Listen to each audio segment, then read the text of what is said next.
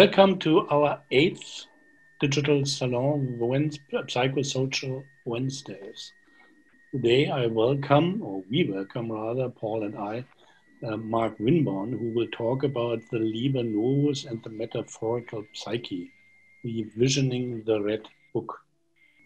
The publication of the Liber Novus 11 years ago was met with intense curiosity and excitement it offered a window into Jung's inner experiences and the possibility of revealing links between Jung's, theories, his personal experience, and his prophetic vision.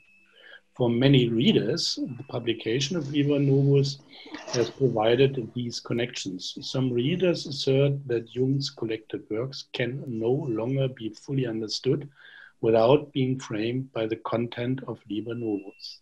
However, around the time of the publication, a significant re-examination of Jung's concepts of archetypes and collective unconscious was underway. Additionally, there has been an explosion of research on metaphor as the primary avenue by which human experience is digested and communicated. This talk by Mark will use the Liber Novus as a springboard to propose a re-entering of analytical psychology from a psychological centered theory on archetypal theory to a, centered to a metaphorical processes of the psyche. This recentering has useful implications for the practice of Jungian analysis our interactions with others, psychoanalytic school or schools of thought, and our capacity to interact more, more effectively and meaningfully with the world we engaged with. That's the introduction. And now let me introduce Mark uh, shortly. Mark Winborn, he is a Jungian psychoanalyst and clinical psychologist. Mark is a training and supervisor training analyst and a supervisor for the Interregional Society of Jungian Analysis and at the Jung Institute in Zurich, or rather Küsnacht. He currently serves on the board of the, on the American Board of Accreditation in Psychoanalysis, Psychoanalysis and the Ethics Committee of the IAAP, as well as at the editorial boards of the Journal of Analytical Psychology and the Journal of Humanistic Psychology. He has presented papers at the past four congresses of the IAP. His publications include Deep Blue, Human Soundscapes for the Archetypal Journey, Shared Realities, Participation Mystique and Beyond, and Interpretation of Jungian Analysis, Art and Technique. Mark, I give the floor to you. Uh, thank you, Bernard, and thank you for the invitation to speak today. Um, what I'll be speaking of is about is from a chapter that appears in volume four of Murray Stein and Thomas Arzt, Jung's Red Book for Our Time, Searching for Soul Under Postmodern Conditions. And as many of you probably know, Thomas Arzt passed away this past spring. Uh, but he communicated with me before passing away unexpectedly. Uh, upon reading my chapter, he said, Well, it's certainly provocative. So I'll be interested to see whether others find it provocative today. So, what was Jung attempting to do in Liber Novus? Jung actively conducted his personal self experimentation from 1913 through 1916 experiences which helped him shape the technique of active imagination. Following his difficult break with Freud, it was through this prolonged period of self exploration that Jung hoped to discover and live into his myth. These experiences were initially recorded in his black books. Shamdasani indicates that the black books are not diaries of events, and very few dreams are noted in them. Rather, they are the record of an experiment. Jung indicates that he was utilizing autobiographical material, but not writing in the form of autobiography. From 1915 through 1930, Jung worked on extracting, shaping, and refining the content of the Black Books into the more focused narrative of Liber Novus. Jung then abandoned his work on Liber Novus until resuming it, the process three years before his death, ultimately leaving the project unfinished in mid sentence. Shamdasani describes Liber Novus as a series of active imaginations woven together with several underlying objectives. I quote, an attempt to understand himself and to integrate and develop the various components of his personality, to understand the structure and of the human personality, in general, to understand the relation of the individual to present day society, to understand the psychological and historical effects of Christianity, and to grasp the future religious development of the West. Liber Novus can be understood as depicting Jung's individuation process and has and as his elaboration of this concept as a general psychological schema. Unquote. In addition, according to Shamdasani, Jung held that the significance of these fantasies was due to the fact that they stemmed from the mythopoetic imagination, which was missing in the present rational age. Hence, another objective in creating Liber Novus was to establish the archetypal foundation of the psyche, and therefore the existence and influence of the collective unconscious. However, Warren Coleman argues Jung seems to have had little interest in tracing the actual historical origin of the archetypes of the collective unconscious, since he assumed that the archetypes were the same everywhere, and this provided him with a means of interpretation that could be universally applied. The question of origins may have seemed unimportant or even missing the point that the psyche is not bound in time but is eternal.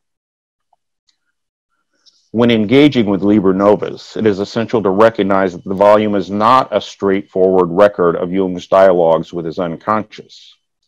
In Jung's initial draft of the Red Book, approximately 50% of the material is taken directly from the Black Books, along with 35 sections of new material added. Therefore, a significant amount of commentary is added to Jung's original dialogues which were shaped and refined to support some of Jung's underlying objectives for Liber Novus, whether consciously or unconsciously held. Jung's vision for Liber Novus was also significantly influenced in both form and style by the Bible, Dante's Divine Comedy, Nietzsche's Thus Spoke Zarathustra, Goethe's Faust, medieval illuminated manuscripts, and the illuminated works of William Blake. While it is clear that Jung's self experiment reveals a great deal of his struggles with various psychic influences and the impact of the world on his psyche, it is also clear that Liber Novus is a creative expression emanating from Jung. He had arrived at some conclusions about his experiences that shaped the tone content, structure, and style of Liber Novus in order to highlight his conclusions, just as a photographer, painter, or poet shapes their creative output to create or convey a particular effect. I think there's a danger in idealizing Liber Novus as a revelatory text in which we are invited into the inner sanctum of Jung's psyche. While it is appropriate to view Liber Novus as a process of self experimentation, discovery, and transformation, it is also important to see that it is a creative act that emerged out of Jung's confrontation with the unconscious. Just as all the arts share a common foundation in the articulation of human feeling and experience. As Jung puts it, the main value of a work of art does not lie in its causal development, but in its living effect upon ourselves. With this groundwork outlined, I'll shift to take a closer look at the relationship between archetypal theory, affect, imagination, and metaphor. In the contemporary Jungian world, we can no longer speak of archetypes, archetypal theory, or the collective unconscious as universally accepted theoretical constructs. There is currently significant debate within the Jungian community regarding the origin and transmission of archetypes. In recent years, new conceptualizations have emerged which question or modify Jung's original positions regarding the pre-existent or innate qualities of archetypes and the collective unconscious.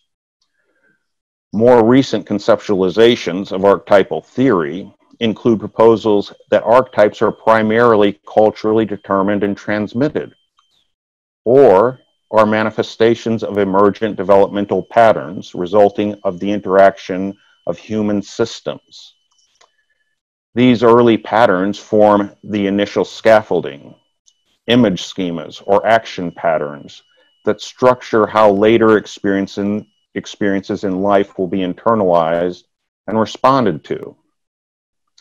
This perspective is actually quite similar to Daniel Stern's concept emerging from infant developmental studies of what he calls representations of internalized experiences generalized or RIGS for short, which shape how later experience is perceived, interpreted, and responded to. We can also see some similarity with Bowlby's concept of internal working models, which is associated with attachment theory.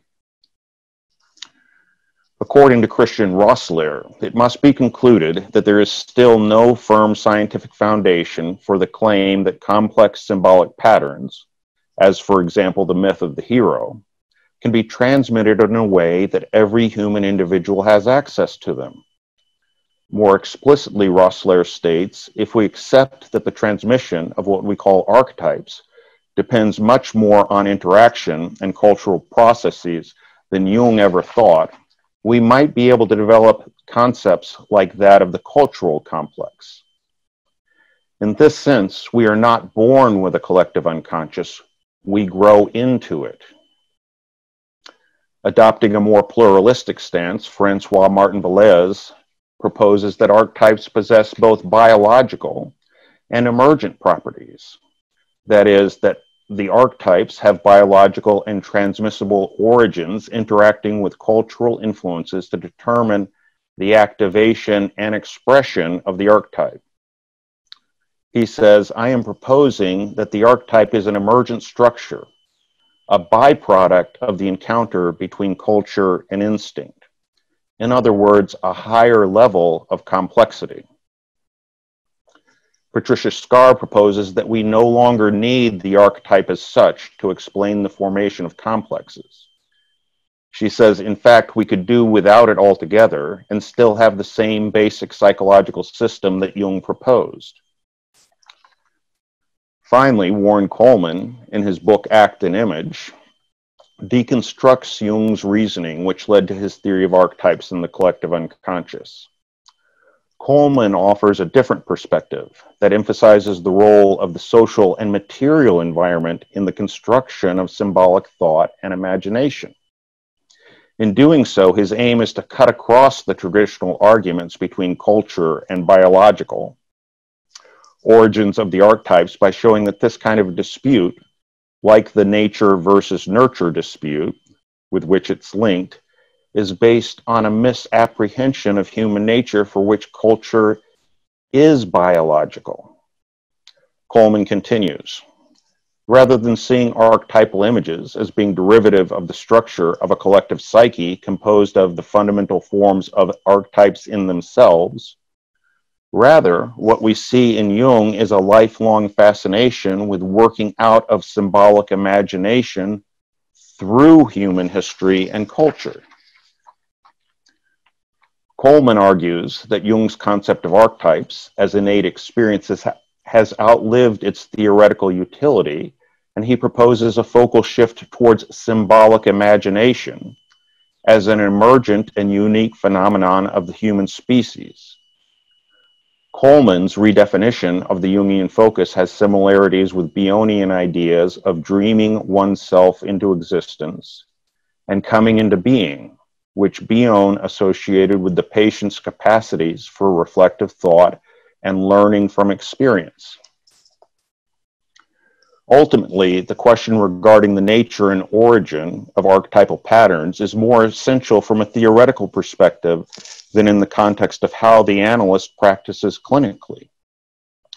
For the purposes of analytic interaction, it is the archetype as experience, that is, the phenomenology of archetypal experience, descriptive of an element emerging in the analytic field, intrapsychically or in life, that is most essential rather than the origins of the archetypal images or themes.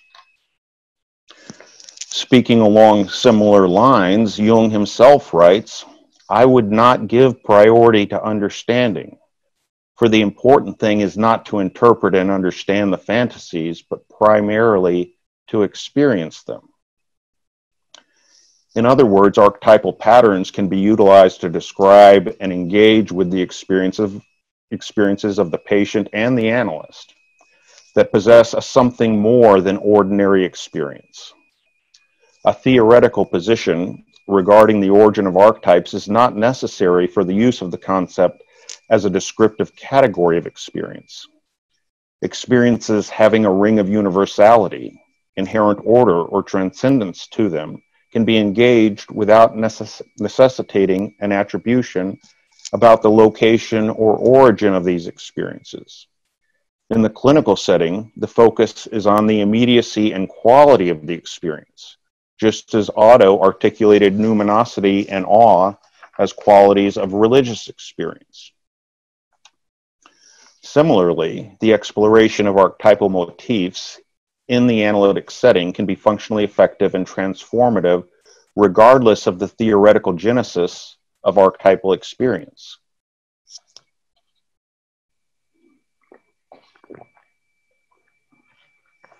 If we accept that archetypal theory and the concept of the collective unconscious is open for re-examination, then we need to consider what is the foundational element of human experience.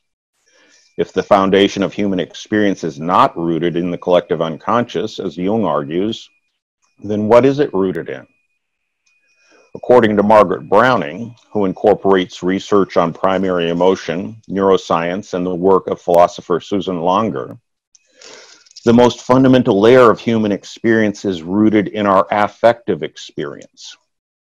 Browning argues in the human species, affect not only motivates learning about the world, it also forms the basis of our symbolic minds. Continuing, she states, we may equate affect with the capacity to feel and state that it is the projection of feeling into form that is the basis of symbolic process. Affectivity is the subcortical core of subjectivity. The affective focus in Langer's philosophy is supported by research into primary emotions, that is, those emotions that all humans share across cultures as well as being the emotions that all other complex emotional states are built upon. As St- Louis Stewart describes from a Jungian perspective, the affects are the lifeblood of the psyche. The affects are the bridge between body and psyche, instinct and spirit. These primal affects have, a universe, have universal forms of facial expression and bodily innervations. However, Langer also highlights the distinctive connection between symbols and affective consciousness. Browning summarizes that relationship as follows Symbols depend on the capacity to render affect into external form, most notably language. Psychoanalysis has always privileged affect as the basis of our mental lives, but it has not necessarily recognized affect of, as the basis of our uniquely symbolic minds and the import this has for our psychoanalytic theory and treatment. End quote. Language is not abstract and divorced from symbolic process. Affect, which arises from soma, pushes for expression through symbolic thought, typically mediated through language. Browning elaborates on the relationship between affect, symbolic thought, and individuation, saying, The riches of a symbolic culture are vast, but they are always wielded from an emotional base. This capacity to feel, this affective consciousness, is the very basis of our unique symbolic minds, with which, to a considerable degree, we create ourselves. Browning also notes of special importance for Langer is the role of imagination. What the early appearance of symbolic communication afforded has some voluntary control over this faculty for imagining. Feeling is what the human species utilizes in its unique fashion to create symbols. Symbols that embed us in a culture mediated by these very symbols themselves.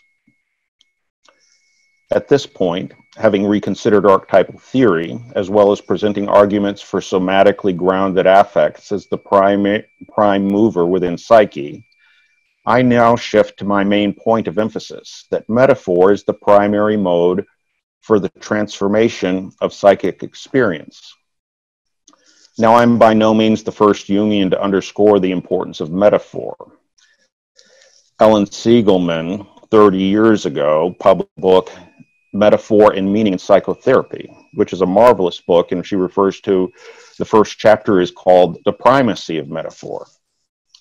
But 30 years ago, she didn't have access to the same level of contemporary research in the cognitive science, the neurosciences, and the philosophy of mind that exists now to support her arguments in favor of metaphor.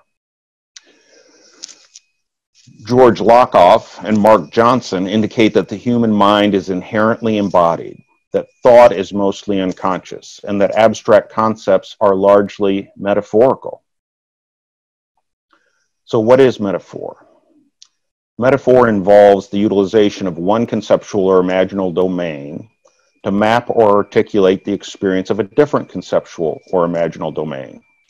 Therefore, it transfers meaning between domains of experience, from conscious to unconscious, from cognitive to somatic, from somatic to affective, from past to present, and present to future, linking realms in ways not previously seen and transforming meaning by means of novel rec- recombinations between domains. For example, a simple metaphor the ship's prow plows the sea is a metaphor that reveals the similarity between the prow of a ship passing through the water and a plow passing through the soil. Lakoff and Mark Turner describe metaphor as a tool so ordinary that we use it unconsciously and automatically. It is omnipresent. Metaphor suffuses our thoughts, no matter what we are thinking about. Metaphor allows us to understand ourselves and our world in ways that no other modes of thought can. Metaphor is constantly used, both consciously and unconsciously, in everyday life everyday speech is filled with metaphor. I'm all tied up in knots. The weight of the world is on my shoulders. I feel trapped. It feels like somebody is standing on my chest.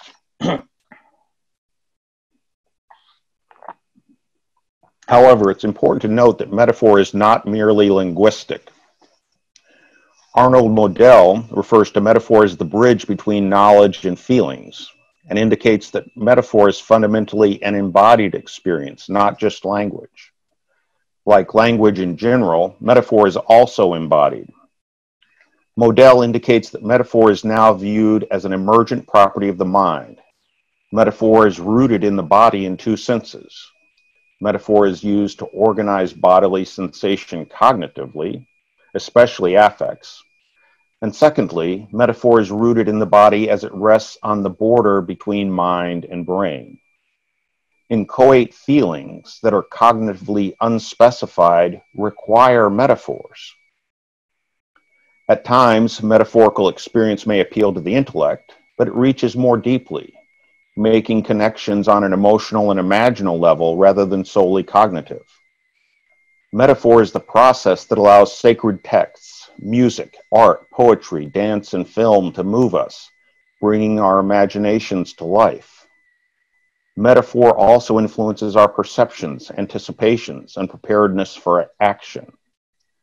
Modell asserts that we unconsciously interpret our affective world by means of metaphor in preparation for action, which is quite similar to a definition Jung offers for the archetype and its function, where he says archetypes are systems of readiness for action.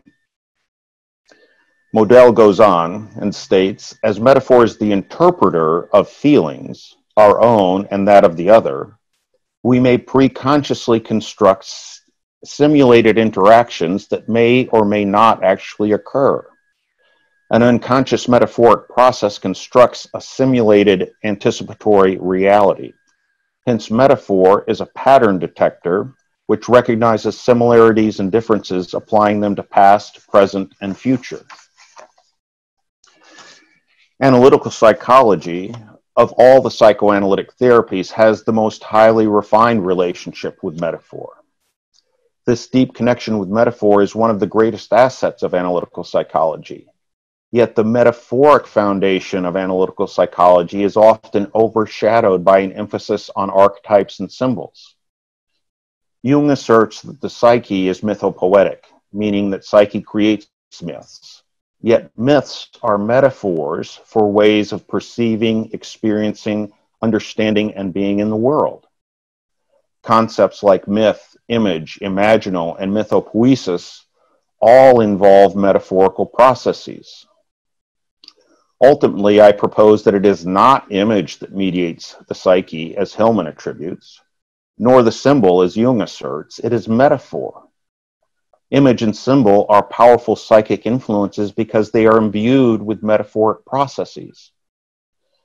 Analytical psychologists often think of myths, fairy tales, religious motifs, and alchemy as representations of the collective unconscious and as potential symbols, but on the most fundamental level, all of these systems function as metaphors.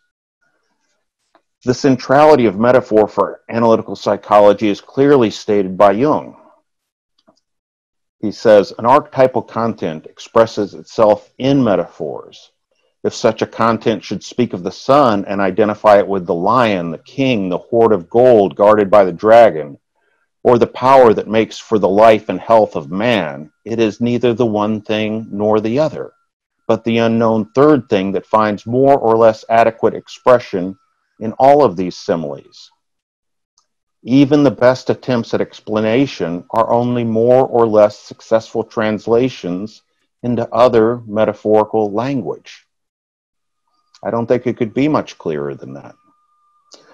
I would like us to consider metaphor as the larger umbrella under which myths, fairy tales, religion, and alchemy are contained, as well as film, poetry, dance, literature, music, and art.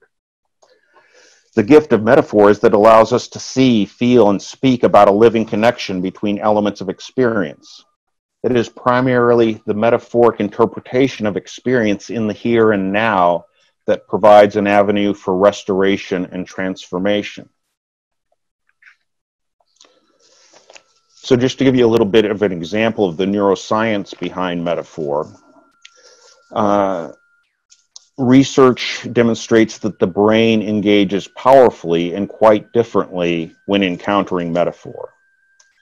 These findings underscore the power of words and therefore interpretation.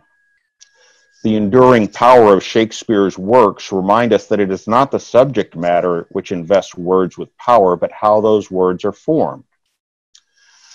The influence of Shakespeare's words can be demonstrated through neuroscience. Using fMRIs and EEGs, researchers studied functional shifts in brain activity when exposed to metaphor. They demonstrated how Shakespeare's metaphorical use of language creates shifts in mental pathways and opens new possibilities of thought, self reflection, and associative connections.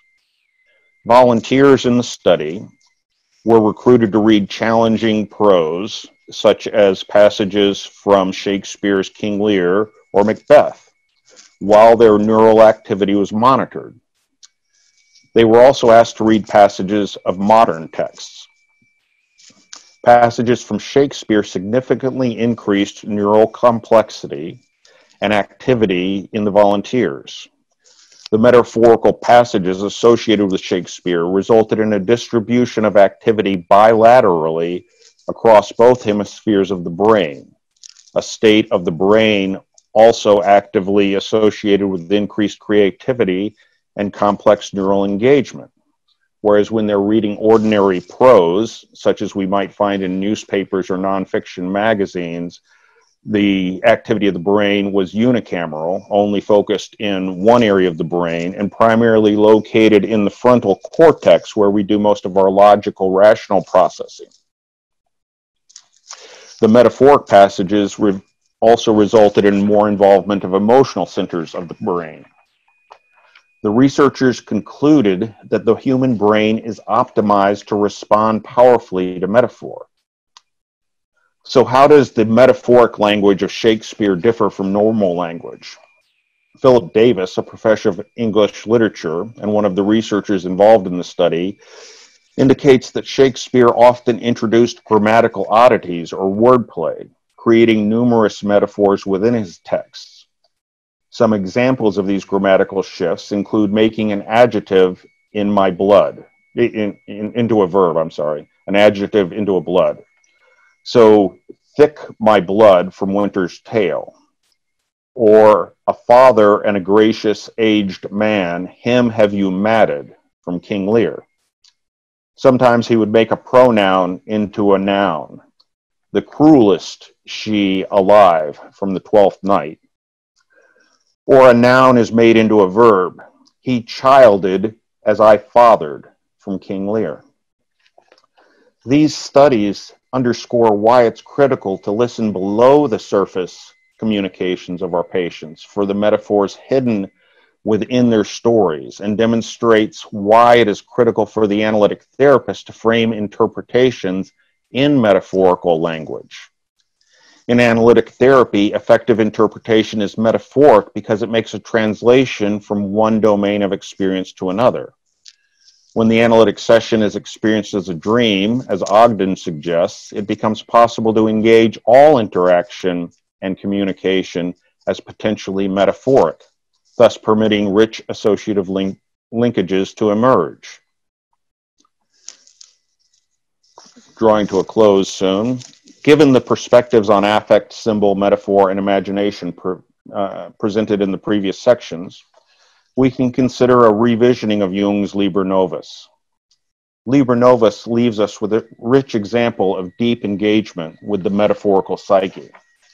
In my view, the question of whether Jung's personal experiments with his psyche also reveals or provides evidence for the existence of the collective unconscious is only secondary my initial response is to marvel at the unique metaphoric manifestations of the unconscious that emerged when Jung began his process of active imagination in 1913. In closing, I believe that the direction of analytical psychology could be powerfully influenced if Liber Novus were revisioned as an inspiring example of the metaphorical processes of the human psyche while focusing less on the prophetic revelatory qualities of its content.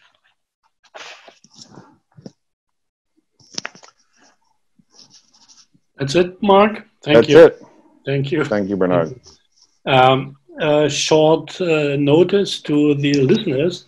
Please put your uh, write your questions into the chat box, and then Paul will relay them to me.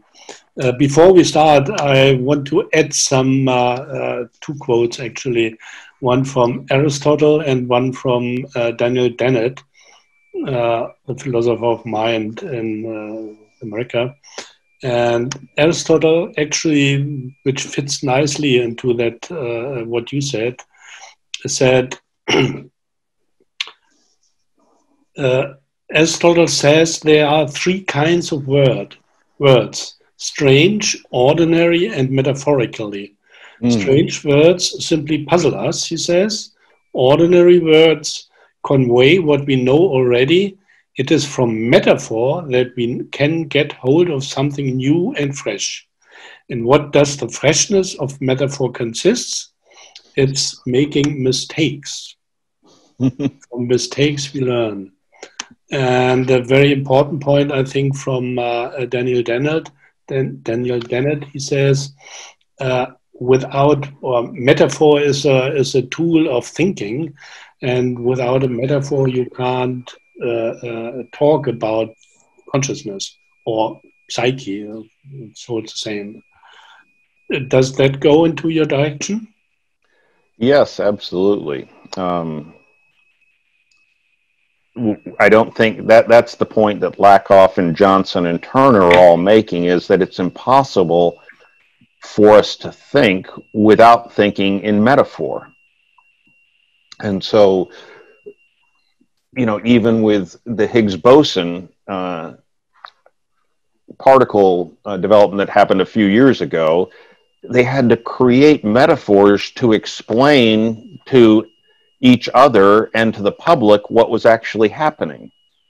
And there was a brilliant uh, animation on uh, that the New York Times created to try to capture the essence of the Higgs boson, which has different properties at different times in different fields. And so the analogy they came up with and animated was the idea of uh, cross country skiing through dry, fluffy snow as opposed to wet, slushy snow, and the difference in that. Uh, so that I think that's a wonderful illustration of what he, he's talking about. The other thing that comes to mind is a quote by Richard Feynman, who was a uh, well-known uh, mathematical physicist in the United States, and he's not speaking directly about metaphor, but he's really speaking about a related concept, imagination. And he said, science is just imagination in a straitjacket. Mm. So he uses a, a, a nice little metaphor to speak about science that really we're utilizing imagination in science, but there's a certain set of parameters that have to be worked within uh, in order for that work to get done. Uh, mm, uh, quantum theory actually is full of metaphors. oh yeah, you can't talk about it. And uh, the funniest I think is comes from William James, the American uh, psychologist. Uh, uh, Niels Bohr borrowed one of the main concepts, complementarity, from him. Yes. Mm-hmm. And Erwin Schrödinger's entanglement, these came from carpentry. Yes. And then everybody knows about black holes and so on and so forth. So and, and string theory. Yeah, yeah. Even the name, it's uh, yeah. Even the name itself. It's with strings, but somehow you have to imagine it. Yeah. Now let me come to the questions. Maria Magdalena, she asked, "Thanks for the uh, provocative presentation. Can you say something uh, of how trauma affects our capacity to tune in with the realm of effects and how this broken space within psyche impairs our capacity to build a metaphor? Well, actually, what we're trying to do is restore metaphoric capacity. And so uh, there's a, a, parallel term from literature called metonymy. And metonymy kind of does the opposite of um, metaphor, whereas metaphor builds connections through similarities as well as differences. Metonymy takes one characteristic and applies it to an entire group. So when we say heavy is the brow that wears the crown, we're talking about all monarchs, but we're attributing one characteristic to all people who are monarchs. Or when we talk about the suits, and we refer, we're referring to bankers and insurance salesmen and financiers, we're attributing a particular quality to all of them that we associate with the idea of wearing a suit. So this is where me- metaphor actually breaks down and one class is attributed to an entire group. So in trauma, if somebody has a neighbor that they like as a child they like to go over and play with. And one time their friend goes for an errand with their mother and the father is there alone, and the child gets molested or sexually assaulted. And the metonymy that the child forms in their mind is that I'm alone with an older man. And then they might apply that metonymy, metonymy across situations as adults, like getting onto an elevator, for example, where there's only one man involved. So this metonymy is working within their psyche. And our goal in engaging trauma is to help the person see how the world has become limited by this metonymy based in experience and affect and somatic response and help restore the capacity for metaphor. Ula Maria asks, can we also consider metaphor as being the root of other fields of knowledge, such as medicine, the doctrine of signatures, for example, alchemy, chemistry? Oh, I think without a doubt. I mean, I think that's what exactly what uh, Lakoff and Johnson and Turner. Uh, they, have published so many books on metaphor and its role in cognition and the development of thought, and they all apply to exactly what you're talking about. That we don't come to new understandings without metaphor, and new understandings build out of old understandings through metaphor. And that's an important consideration in terms of analytical psychology developing as a field is that when we feel a romantic attachment to Jung's original ideas and we lose the capacity to re examine them and we hold on to them because they appeal to us, we've lost the capacity to develop as a field. And that's why I wanted to emphasize uh, the contrast between archetypal theory as it was previously held and how it's currently being re examined and to some degree remetaphorized, one could say. And I think it's essential for us, just as psychoanalysis has developed dramatically since Freud's death in 1939 and over the same period of time, I would say analytical psychology has not had the same freedom of movement of thought that has occurred in psychoanalysis. Yeah. Uh, posits uh, it is not possible to think without being metaphorically metaphorical. Uh, what's the difference in this than what Jung states? Never mind that the way he is often understood without reading. He structured he, he structured and dynamics his structured and dynamic books, I guess. Did you get that? Yeah, I think I get the gist of it, Nomi. Mm-hmm. Um, I, I, think Jung was probably more appreciative of metaphor as a process than the people who followed after him and that it's it's not so much how Jung limited his concepts; it's how we limit Jung's concepts in the present. Uh, and so, I, for me, the more cross theoretical dialogue we have with other schools of psychoanalytic thought, uh, in a sense, that allows us not necessarily to adopt all of those thoughts, but to contrast them with thoughts we hold, and that new new meanings may occur and perhaps one day we won't we won't even think of ourselves as Jungians per se, just as most psychoanalysts no longer think of themselves as Freudians. They see Freud as one of the originators, but they don't, it's not their identity any longer.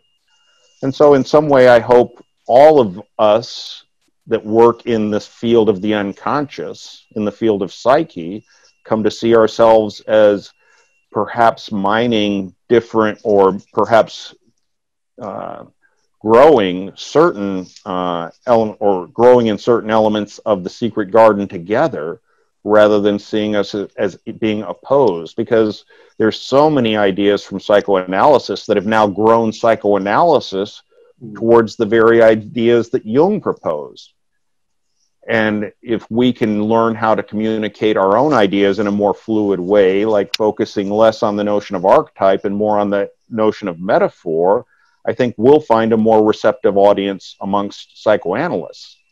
Yeah, I think this is a very important point. The unions are a little bit uh, closed and they need to be uh, opening up to other ideas. Mm-hmm. Yeah, and not just from psychoanalysis. Obviously, yeah. in in my presentation, I'm drawing a lot on neuroscience and cognitive science and philosophy. That's yeah. not not directed at you, the Jungian world or the psychoanalytic world at all. The only field where it's done a little bit is in physics, but exactly, uh, uh, neuroscience and philosophy, this needs to be taken care of as well. There's a question from Dennis Merritt. it seems the archetype, archetypal realm as emergent beyond the complexes put one into the symbolic that is deeper and more basic than language. Near death experiences and vision quests and big dreams seem to be special levels more commonly associated with archetypal realm. Okay, and my question in return would be what do we gain by thinking of those as archetypal as opposed to metaphoric? Because the concept of archetype is a metaphorical one as well. Right, right. That it is metaphorical. So even in these deep, deeper realms that Dennis is describing, and I agree there's certainly different levels of depth of experience, but do we gain anything in terms of uh, of an explanatory vehicle by calling it archetype rather than metaphor? A little bit running out of questions here. Uh, there's another one from Nomi. Uh, how how would you you Mark understand the distinction between metaphor as universal, to which Jung would agree, and symbol being effectively propelled into consciousness?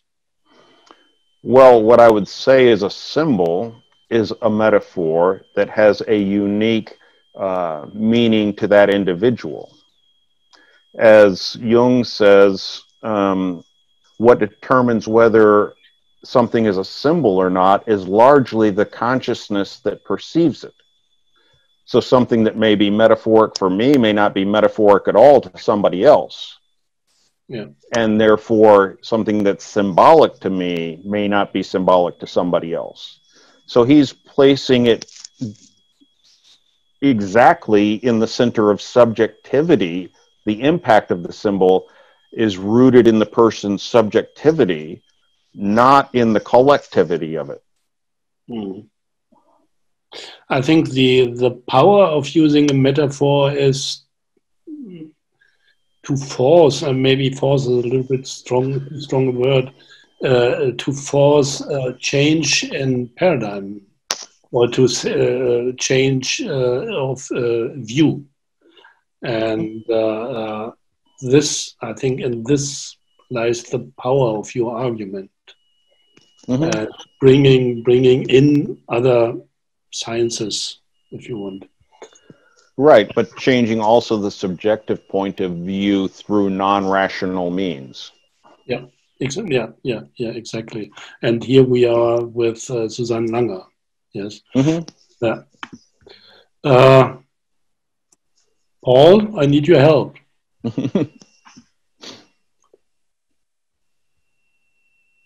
How? Question. He wants you to generate more questions. Yes. Oh, well, I generated one of my own. You need to read down the uh, WhatsApp. What I was thinking was, I'm thinking of different directions that you go and that can be gone. Mm-hmm. When you're looking for this metaphor as common to all of these things, there is a, it's not necessarily reductive, but each time you leave one frame to see the metaphorical essence of it, you are leaving something behind, right? Even though I've been sort of fighting with writing about archetype myself lately, and I know that archetype is frequently a thing that has subjected us to a lot of inflation, right? Mm-hmm. I'm, you know, my California background, all of those things from the 80s and 90s of people writing books about how great archetypes are, right? Mm-hmm. Which is a little, you know, that's pretty dodgy. But at the same time, I think we have more of a charge to it, more respect to it, more attention for it in that form than we would if it were only about complex and only about archetype. You know, what Patricia uh, says is brilliant, but at the same time, if it were really only complex psychology, it might feel a little more two dimensional than it does. But then, is that something of a romantic uh, connection to the process? If we if we feel sad about losing the notion of archetype, now I'm, I want to emphasize I'm not advocating giving up archetype as an explanatory vehicle. What I'm adv- advocating for is to see it more broadly okay. as part of a category of metaphor. You know, I find some of the contemporary arguments revisioning archetype compelling, but I don't know that I've even made a decision myself yet about whether I find them completely compelling. They're interesting to me, and I think they're worth considering. And what my emphasis is is I'm a I'm a pragmatist. I'm interested in what works in my consulting room and for me, it's made my own thought processes, my affective processes, much more fluid and available to me, thinking about all of this stuff as metaphor.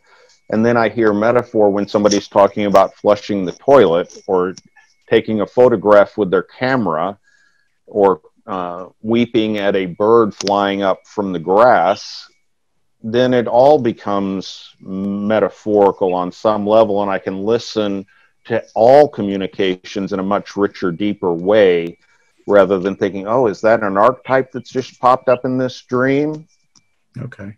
Well, let me give an absolutely completely unfair counterexample. Okay. One of my patients, who is a professional psychologist, um, underwent Lacanian analysis back in the late 90s when he was having a difficult time and doing too many drugs and being very young and a lot of art and all of this. And he said it was really valuable because at the end of it, everything was in black and white. Mm-hmm. That's his assessment, his personal response to a particular technique. But one of the reasons he wanted to come to me was he would assume in a structure that took archetype seriously that things would never be reduced to black and white.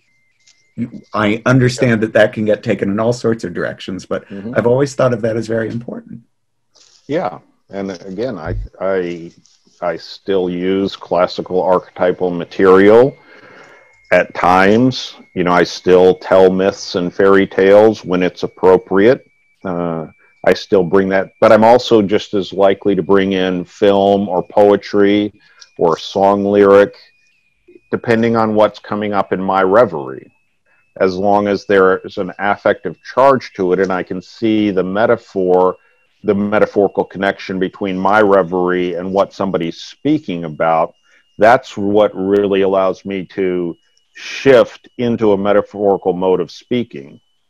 Like one of the examples I give in uh, the book is an older uh, gay male who had difficulty with affect modulation and didn't really particularly anger and did not seem at all concerned about the impact of his anger on his partner or on others around him. And then he was speaking one day about making a trip up to see his mother, who was near death, and whether his partner should go along with him and his irritation at the thought of having his partner present and having to attend to his partner's needs and his fear that or his not fear per se but his assumption that he would get angry and blow up at his partner. And so the image of a terrorist bomber came to mind and i said um, to him so it's like you want to strap when you feel the pressure of other people's expectations, you strap on a suicide vest and blow everything up, including yourself. Okay. And that became quite an important image for him. That if I had spoken in any other language about appropriateness of anger, or to think about what that was doing to his partner, it would have had no effect whatsoever.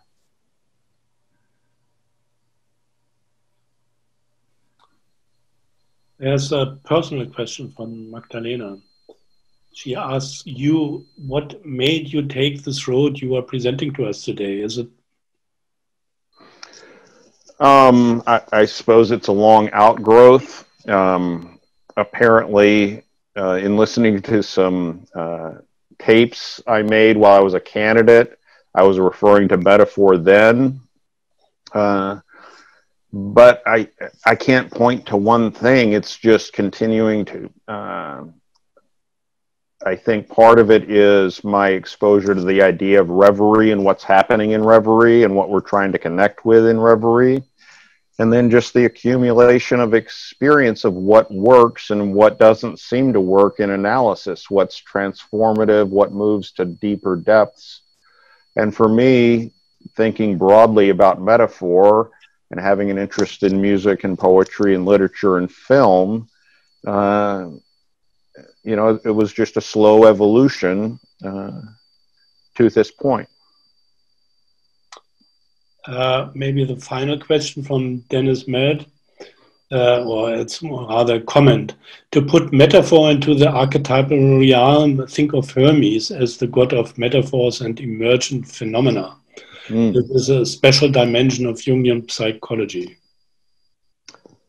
Yeah, I think that's a nice way of putting it, Dennis. Uh, so certainly, since Hermes is the crosser of boundaries, and that metaphor crosses domains of experience. Exactly. I think that's a beautiful way of summarizing and putting it into putting metaphor, the action of metaphor, into archetypal language. Yeah, that's a very good point. So I think we can close here. Thank you, Mark, for your presentation. Thank you. Leaves a, lot of people stunned, obviously, because there's not so many questions. And I only have a comment for our next session. Uh, this will be the ninth session, will take place on the 14th of October and Monica Luci will talk about the restructuring of space, the restructuring of self, individual and group psychic skin in the time of Corona. And then in November, we have uh, Joe Cambray and uh, in December, Nancy Krieger. Okay, thank you very much to all of you, especially to Mark. All right, thank you, Bernard. Thank you, Paul. Thanks, everyone. Bye bye. Thank you, everyone. Take care. See you in a month.